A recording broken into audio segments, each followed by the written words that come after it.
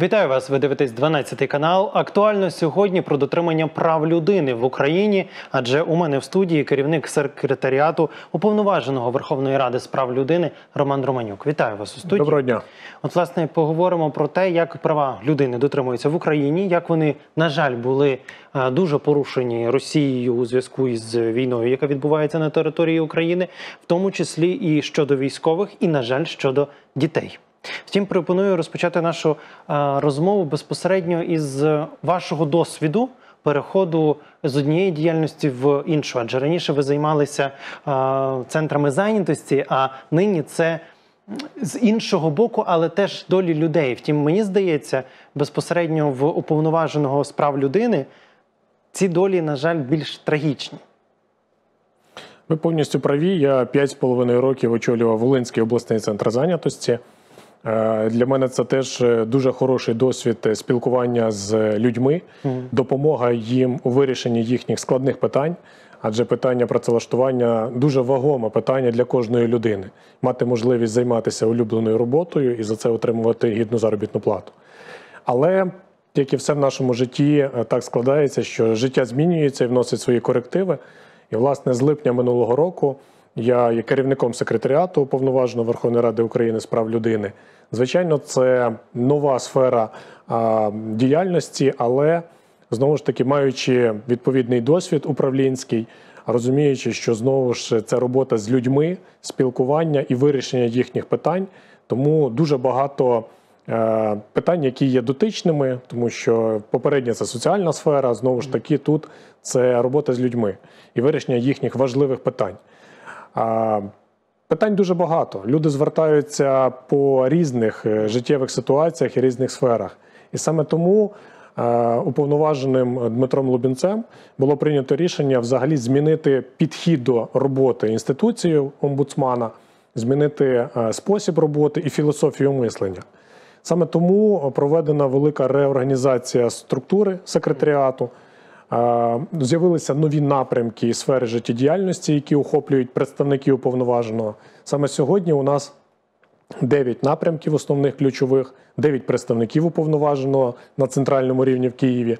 І дуже важливою складовою нової такої реформи ми провели децентралізацію, так звану, з розумінням того, що потрібно максимально наблизитися до кожної людини, до кожного громадянина. І станом на сьогоднішній день у нас в структурі передбачено в кожному регіоні, в кожній області представник уповноваженого з відповідною командою. Це дасть можливість людям на місцях безпосередньо оперативно звертатися е, з по вирішенню своїх питань, а нам точно так само максимально швидко і оперативно реагувати на всі виклики, проводячи і здійснюючи моніторингові візити. Чи є вже такий е, представник уповноваженого з прав людини на Волині? На Волині на сьогоднішній день ще не призначений такий представник, але в переважній більшості областей вже є призначені представники уповноваженої сформовані команди. Е, коли з'явиться тоді? Ну, як тільки уповноважений підпише наказ на призначення, відразу ж приступить до виконання обов'язків представники на Волині. Хоча е, колектив і команда на Волині вже при- присутня. От, е, власне, щодо е, безпосередньої реформи в е, уповноваженого з прав е, людини від Верховної Ради України, йшлося про те, що навіть гаряча лінія вона зміниться трошки в своїй роботі. Якщо раніше це було своєрідне перенаправлення або там. Підказка для людини, куди краще звернутися, то нині на гарячій лінії, як стверджується на офіційних сторінках уповноваженого, безпосередньо можна отримати повноцінну допомогу. Як це е, вдалося змінити і як це працює? Е, Власне, тут якраз і є вся зміна філософії мислення і розуміння організації роботи, націленої на потребу людини, на задоволення їхньої потреби. Е, Дуже важливо, і тут хочу відмітити, що сьогодні офіс омбудсмана це не чергова бюрократична структура, а на сьогоднішній день це місце тепла, поваги і турботи, де дійсно кожна людина, яка звертається до нас, Ми жодним чином не працюємо за принципом перенаправити в інші органи. Ми намагаємося перше безпосередньо, якщо це на телефонну гарячу лінію, в телефонному е, режимі в процесі спілкування вирішити питання людини. Якщо ні, то прийняти відповідно усне звернення, його зареєструвати і передати структурним підрозділам секретаріату для опрацювання. Ну надважливо те, що ми не перенаправляємо людей. Ми працюємо по прийому кожного звернення із розумінням кожної життєвої ситуації. Щодо телефонної гарячої лінії, а, були постійні нарікання про те, що неможливо додзвонитись. На сьогоднішній день у нас працює 10-12 операторів телефонної гарячої лінії. У нас телефонна гаряча лінія працює і в суботу, і в неділю, забезпечуючи прийом дзвінків. Змінені повністю філософія підходу в організації з допомогою наших е, дружніх міжнародних партнерів і організацій. Ми вже майже забезпечені всім новим обладнанням і CRM-системами для роботи телефонної гарячої лінії. І в такий спосіб відсоток пропущених дзвінків, після яких, звичайно, наші працівники передзвонюють людям, на сьогоднішній день становить 8, 7-8%. Це дуже незначний і дуже малий відсоток пропущених дзвінків. Після чого, знову ж таки, наголошую, ми віддзвонюємося і передзвонюємо людям зворотньо. Угу. Е, власне, ще про децентралізацію продовжу. Чи допоможе м, безпосередньо наявність у кожній області представника уповноваженого, можливо, м, більше прийняти людей особисто, а не лише телефоном, про що ви щойно говорили? Е, Перш за все, це дасть можливість людям е, не писати в Київ, не їхати в Київ чи не звертатися лише до центрального офісу. Люди повинні чітко розуміти, що представник уповноваженого це особа з дуже сильним і високим мандатом, з широкими функціями і повноваженнями. І саме представник уповноваженого є в кожній області, тобто доступність до майже як до повноваженого до представника є в кожній області. Це е, з одної сторони і розвантажить центральний офіс наш, адже ми теж отримуємо просто величезну кількість звернень громадян, і надзвичайно складно їх якісно опрацьовувати. Я назву буквально одну цифру статистику. Якщо за минулий рік загалом за цілий рік секретаріат уповноваженого отримав 42 тисячі звернень громадян, то на сьогоднішній день, а ми маємо майже 1 травня, 4 повних місяці, ми вже отримали 30 тисяч звернень громадян. Ви розумієте, що буквально ще 2-3 тижні, і у нас буде та ж сама кількість, що за весь минулий рік. Це величезне навантаження на працівників секретаріату, але ми максимально стараємося побудувати так роботу, щоб якість від цього не була втрачена, щоб допомогти вирішити питання кожної людини, яка до нас звертається. Власне, з якими питаннями найпоширеніше звертаються? І я так розумію, що зараз в зв'язку із війною і в порівнянні там да, зі статистикою минулих років, напевно, це зовсім інакше. Ну безумовно, повномасштабне вторгнення Російської Федерації воно відобразилося на житті кожної людини, кожного із нас. І якщо до 24 лютого минулого року е, питання обміну військовополоненими було дуже незначне, чи взагалі питання війни і усієї збройної агресії, і всієї шкоди, і порушень усіх норм і правил ведення війни, в тому числі прав людини, воно було зовсім по-іншому. То е, сьогодні дійсно е, люди звертаються по напрямках і питаннях, які є найбільш чутливими в суспільстві. Це обмін військовополоненими, цивільними заручниками. На другому місці я б сказав би питання дуже важливе: це е, діти, права дітей. Це незаконна депортація дітей з окупованих територій Російською Федерацією.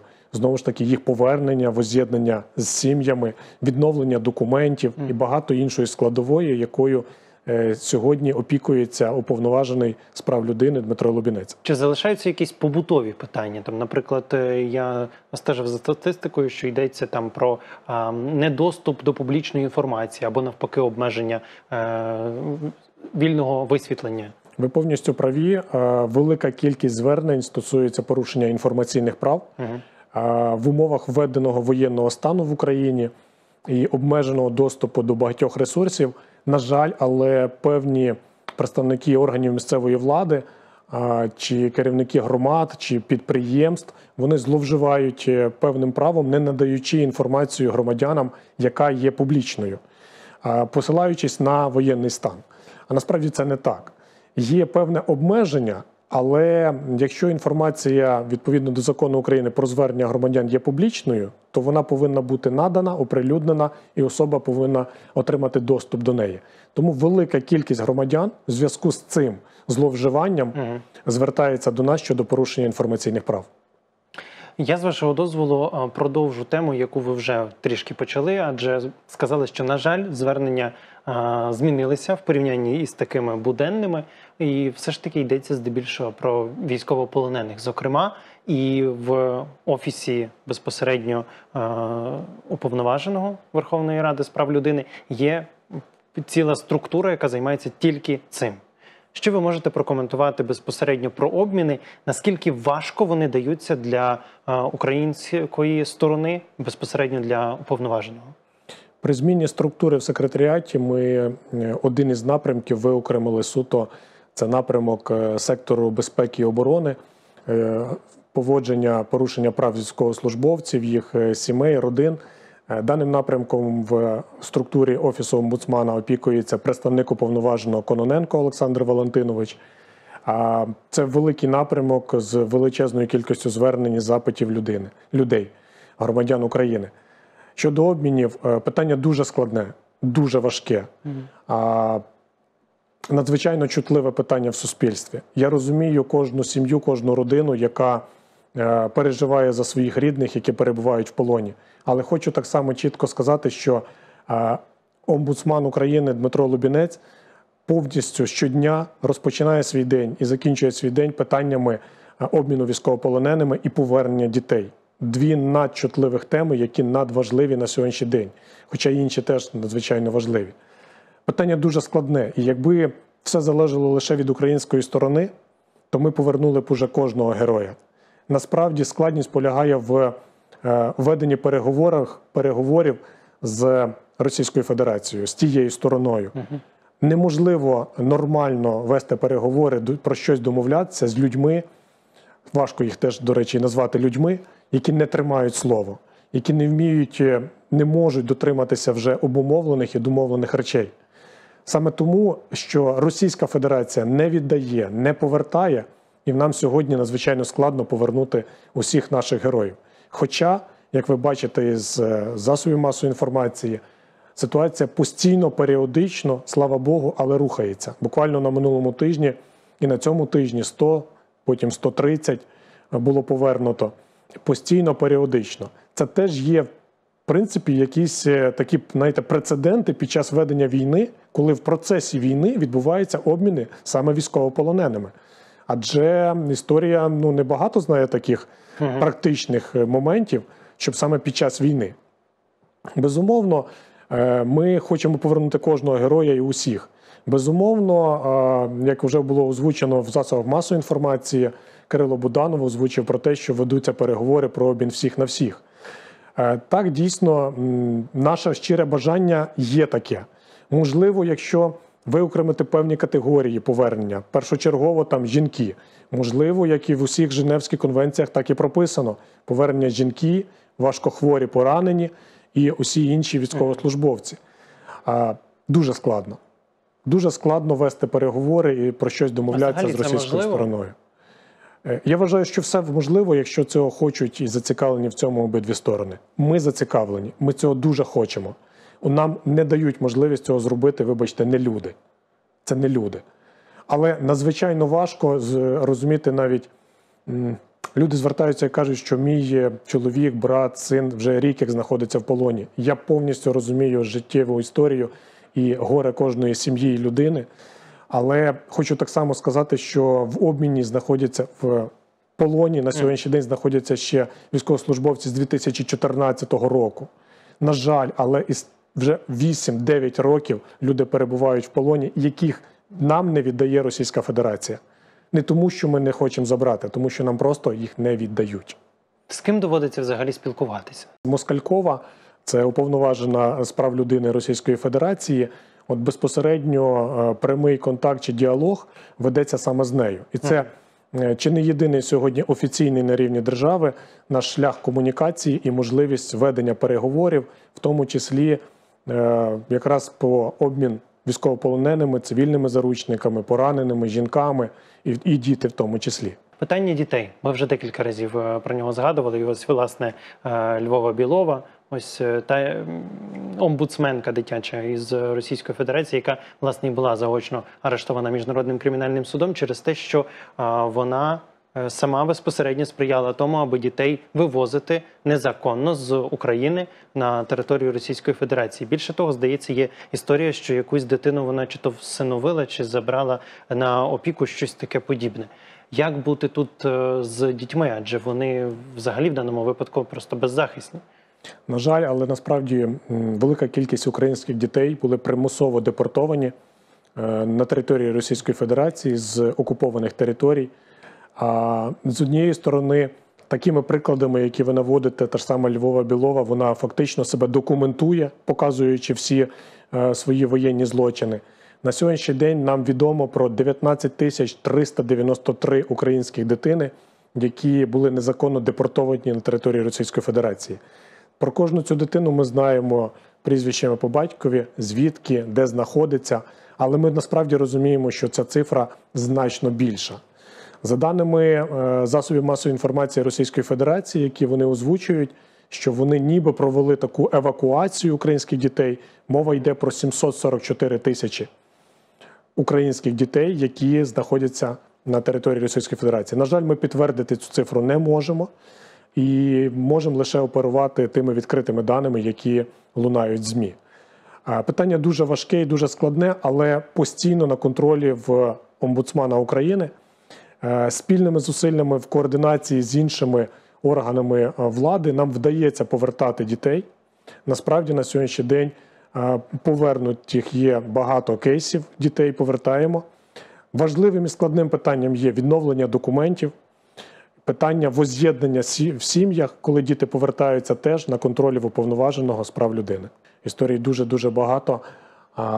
Але для нас принципово важливе саме головне, що ми хочемо повернути кожну українську дитину. Адже кожен день перебування на території Російської Федерації це просто знущання і муки над дітьми.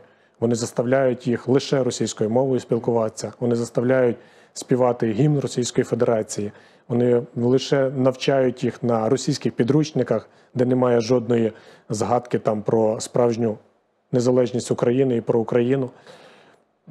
Вони просто промивають їм мізки, розумієте? І чим більше дитина там знаходиться, тим більші ризики і складнощі в поверненні, і в розумінні того, що щоб дитина дійсно отримала і зрозуміла правду, Мгм. що Україна є, Україна буде, і на Україні є спокійне і вільне життя. Ви вже сказали, що понад 19 тисяч дітей перебувають в такому 19 тисяч 393 – це ті, які верифіковані, яких ми, які ми точно знаємо. А це за даними е, державного порталу Діти війни. Мгм. Даний портал повністю обліковує і верифікує кожну дитину і кожну життєву історію. Дозвольте поставити просто питання і розглянути з іншого боку, як взагалі так трапилося, що така величезна кількість дітей опинилася в ну фактично, скажу прямо, в російському полоні. Це діти із окупованих міст, е, чи це е, діти-сироти? Це в тому числі і діти-сироти, коли були раптово захоплені території, зокрема на Херсонській на в Херсонській області. М. і, е, і різні інтернати, будинки дитячого типу. Звідти були вивезені діти на території Російської Федерації. Це просто діти з сімей, які примусово вилучалися е, на окупованих територіях і вивозилися. Ви розумієте, вони маніпулюють. Вони на весь світ показують, що вони ніби за благородними цілями евакуюють дітей від небезпеки. А насправді це просто така ширма, прикриття. Мгм. Вони їх просто вивозять, вони їх просто крадуть, українських дітей. Вони їх всиновлюють в російські сім'ї. І що найважливіше, е, є інформація про те, що російські сім'ї за всиновлення таких дітей отримують фінансову підтримку від держави. Ще одне питання про розголос і, напевно, доступ до інформації. Власне, е, є дві, напевно, сторони медалі. Я так розумію, що коли йдеться про дітей безпосередньо, то розголос може допомогти, тому що зрозуміло, де ця дитина може знаходитись, і її можливо вдасться швидше визволити із Росії. А от про військових, коли йдеться, то навпаки кажуть менше. е, Публікувати менше говорити безпосередньо, якщо ваш е, рідний хтось чи знайомий в полоні, тому що це може йому там зашкодити. Чи справді така ситуація далі зберігається? Насправді, зайве привернення уваги до особи, незалежно чи це дитина, чи це доросла людина, як військовослужбовець, який в полоні, е, воно в переважній більшості завжди шкодить. Тобто і для, і для дітей так само. І для дітей так само. Адже розумієте, повернення кожної дитини це така невелика, ну велика, невелика, але спецоперація. Це міні-спецоперація повернення кожної української дитини на територію нашої держави. І як тільки десь росіяни розуміють, що цю дитину ми повертаємо, а є, на жаль, вже такі прикрі моменти, коли через різну публічність чи привернення уваги до цієї дитини вони на кордоні просто не пускають далі. Мгм. Тому е, зайве привернення уваги це тільки нашкодить. Нікому не потрібно зайвий раз привертати увагу ні до дитини, ні до військовополоненого, тому що це додає, ну умовно назвемо ціни цій людині. Чим більше ви будете озвучувати персональні дані, чим більше ви будете е, говорити про цю людину, про якісь важливість її, це підвищує ціну в обміні. Я говорю про військовополонених тоді Російська Федерація відразу розуміє більшу важливість для нас саме цього чоловіка чи жінки, саме цієї людини, і це тільки шкодить. Відомо про те, що коли з'являється чим більше інформації у нас в змі, то та людина, про яку йдеться в російському полоні, ще і піддається тортурам ще більше. Чи відомо вам про такі факти? Саме так, ви праві, такі факти дійсно мають місце, адже знову ж таки це привернення уваги, перш за все, е, до, цієї людини для росіян. Вони ж теж моніторять наші засоби масової інформації, теж моніторять соціальні мережі і теж виявляють якраз спеціально отаких більш важливих, на їхню думку, більш вагомих. Хоча для нас кожен військовослужбовець це є герой і кожен важливий. Але саме таке є дійсно, це правда.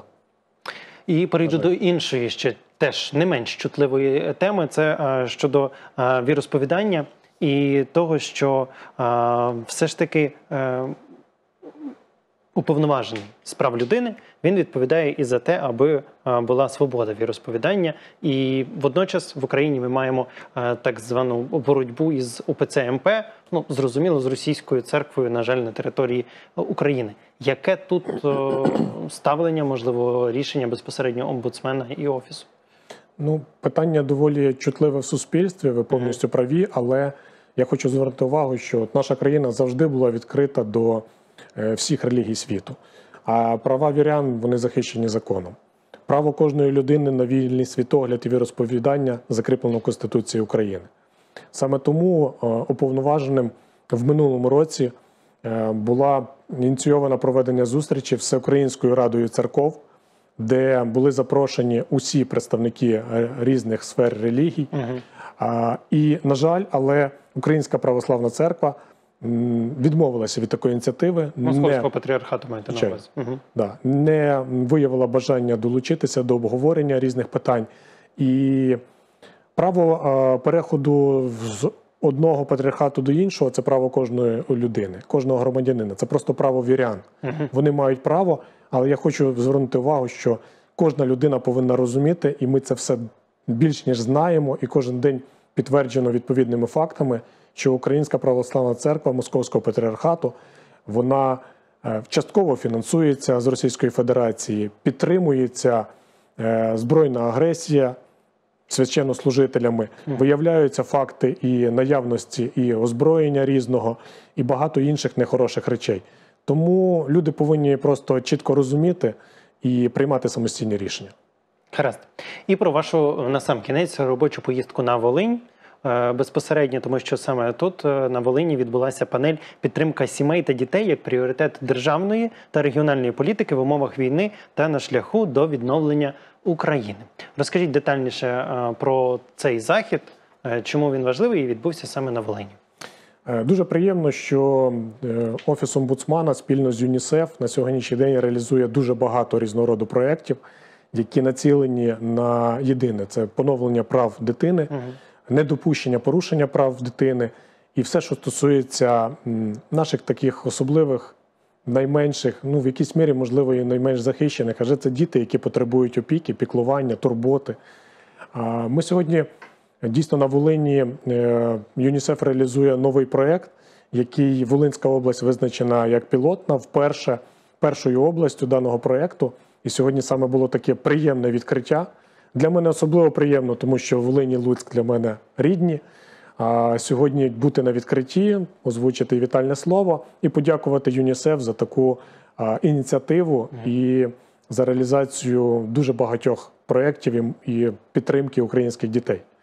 Е, Ми просто повинні чітко розуміти, що дитинство це той період, де дитина повинна бути щасливою, де дитина повинна бути усміхненою, радісною і наповненою е, розумінням того, що е, є тато, мама, є брат, сестра, є рідні, близькі, і є просто безтурботне, дійсно щасливе дитинство. А це можливе лише в сім'ї. І саме тим і проєкт і передбачений, що е, щасливе дитинство дитини це зростання в сімейному середовищі. Тому підтримка сьогодні десь територіальних громад, навчання відповідних спеціалістів і фахівців, підтримка е, в стимулюванні в мотивації по залученню до сімей дітей, в тому числі з різних інтернатних закладів, будинків сімейного типу, адже те середовище не дуже сприяє такому комфортному розвитку дитини. І дійсно я переконаний, що кожна така дитина з таких закладів повинна розвиватися і жити в сім'ї. Адже родина і сім'я це про любов. А там, де любов, там мир, любов, там знову ж таки злагода Мгм. і щасливе дитинство. Щасливе дитинство це успішна, потім доросла людина з правильними думками, з думками розвитку держави, з думками правильними продовження роду і з жодним бажанням воювати чи комусь шкодити. Власне, про збереження дитинства ще о, буквально на сам кінець. Е, Я бачив в інтернеті декілька відео. На одному із них хлопчик 10-12 років орієнтовно говорив про те, що в нього просто вкрали дитинство. Тому що він був змушений десь виїхати з е, території, яка обстрілюється, і ось він власне так говорить. І дуже багато ще навіть малих дрібних дітей, які буквально там тільки починають е, говорити, вони там знімали їх батьки, і вони кажуть: Ой, мама, тривога. І я розумію, що в цих дітей дійсно вкрадене дитинство.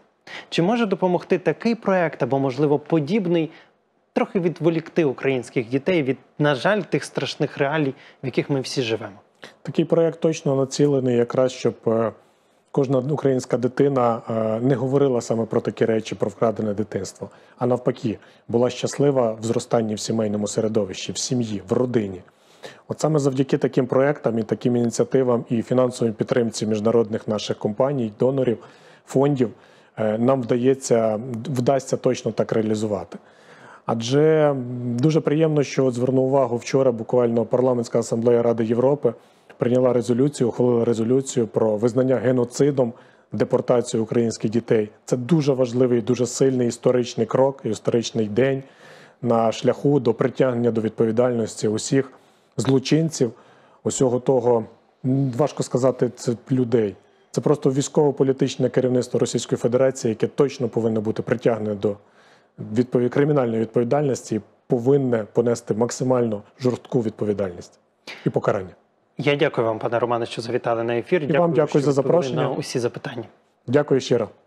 Якщо у вас, шановні глядачі, залишилися ще додаткові запитання до керівника секретаріату уповноваженого Верховної Ради України з прав людини, обов'язково залишайте їх у коментарях до цього відео в соціальних мережах 12 каналу. І, звичайно, до зустрічі. Бережіть себе і будьте щасливі!